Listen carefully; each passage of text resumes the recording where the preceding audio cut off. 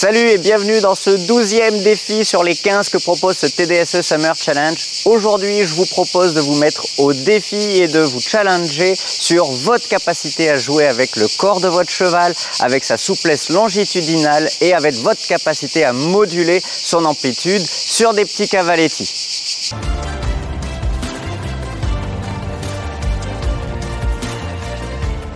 Alors comme vous allez pouvoir le découvrir dans euh, les explications, euh, si vous cliquez sur le lien en dessous, euh, c'est vraiment un exercice de base, c'est vraiment un exercice qui prend une place très importante dans mon entraînement du quotidien avec mes chevaux de concours et globalement dans, l'entraînement que je propose aux, cavaliers que j'ai la chance de coacher. c'est un exercice très complet, c'est à mon sens un exercice indispensable pour tous les cavaliers qui participent à des concours de saut d'obstacles, de complet, mais également très intéressant même pour les cavaliers de dressage puisqu'il va mettre en lumière la capacité euh, du cheval à jouer avec son propre corps, à s'étirer, à se rassembler tout en restant calme, tout en restant disponible et tout en restant connecté avec son cavalier. Donc si vous avez parfois avec votre cheval des petits soucis d'équilibre euh, à l'obstacle, des petits soucis pour allonger ou au contraire pour euh, rassembler un cheval qui a du mal à varier son amplitude, c'est vraiment un exercice qui va vous aider à le faire progresser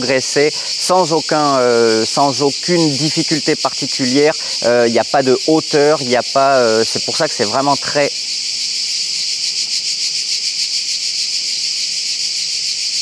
Voilà, donc si vous avez des petites difficultés avec votre cheval à conserver le calme et la décontraction à l'obstacle, à avoir un cheval qui reste en équilibre dans ses abords ou qui se remet rapidement en équilibre dans les réceptions, si vous avez un cheval qui a un petit peu du mal à allonger son amplitude ou au contraire à la réduire, vous allez voir que c'est vraiment un exercice très intéressant.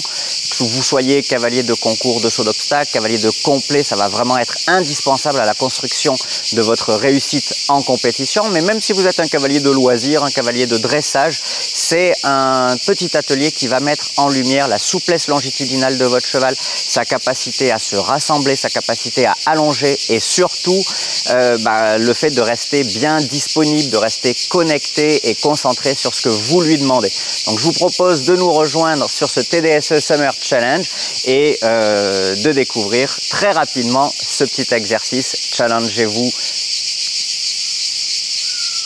voilà, donc je vous propose de nous rejoindre. Voilà, donc je vous propose de nous rejoindre tout de suite en cliquant sur le lien en dessous de la vidéo et de découvrir ces 15 défis, dont celui-ci, le numéro 12, qui va vous permettre, une fois encore, de challenger, qui va vous permettre. Voilà, donc je vous propose de... Voilà, donc je vous propose de nous rejoindre dans ce TDSE Summer Challenge en cliquant sur le lien en dessous de la vidéo et de découvrir ces 15 défis, dont celui-ci, le numéro 12, qui va vous permettre de tester le calme, la décontraction et la disponibilité de votre euh, cheval sur une petite ligne de cavaletti. A tout de suite